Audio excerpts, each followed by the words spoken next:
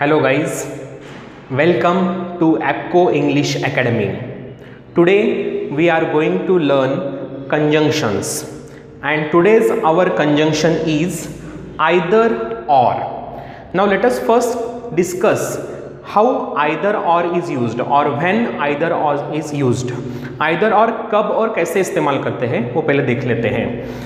Suppose that there are two options in front of us and in those two op- options i have to choose any one option at that time i use either or conjunction suppose हमारे पास दो options हैं और उन दो option में से किसी एक ऑप्शन को हमें चुनना है तब हम आइदर और कंजंक्शन यूज़ करते हैं let us take an example here there are two sentences you can have pizza one sentence you can have burger next sentence now what i will do i will join these two sentences using either or okay now how that is given in the first example you can have either pizza or burger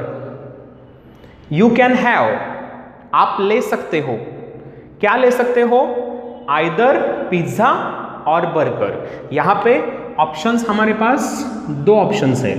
एक option है pizza दूसरा option है burger. So so, इन दोनों में से अगर किसी एक को चुनना है तो हम कैसे बोलेंगे?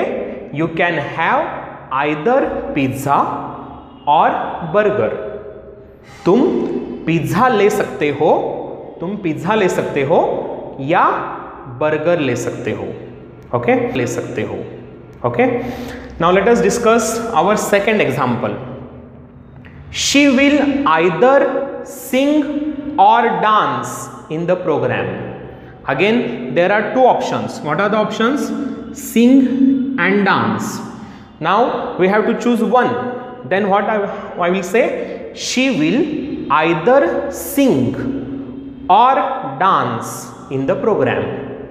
Getting it yes next one third one either rahul or amit has car keys either rahul now here are two options again this is one option and this is one option okay now either rahul or amit has car keys या तो राहुल के पास या फिर अमित के पास car की चाबी है। यहाँ पे सबसे इंपॉर्टेंट पार्ट है ये verb this is the most important part of this sentence so यहाँ पे हैज़ कैसे आया, ये हम अभी देख लेते हैं। How we have written has here okay now this has comes depending on the second option. Depending on the second option we have to write verb here. Okay?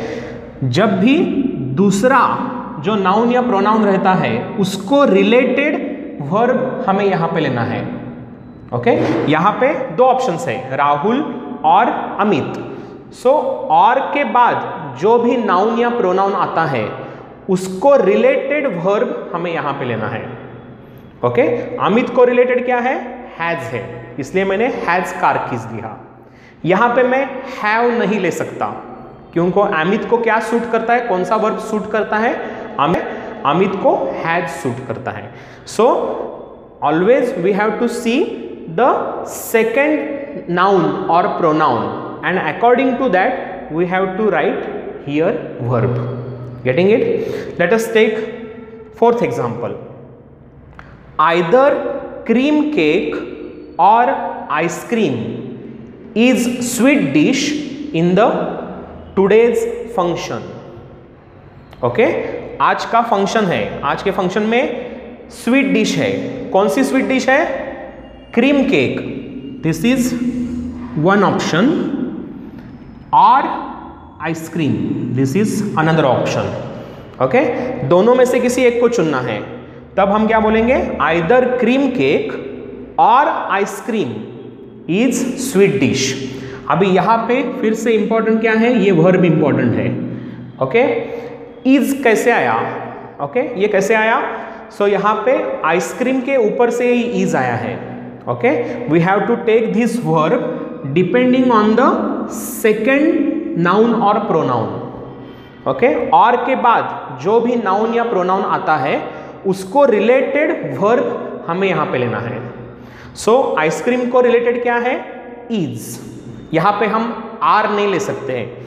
So ice cream is that's why we have taken is here so either cream cake or ice cream is sweet dish in today's function so this is the either or conjunction well guys I hope you have now understood clearly how to use conjunction either or. So we will stop here today in next video we will bring few more conjunctions for you if you have not subscribed our channel please subscribe our channel our institute name is, our YouTube channel name is APCO English Academy. Thank you very much.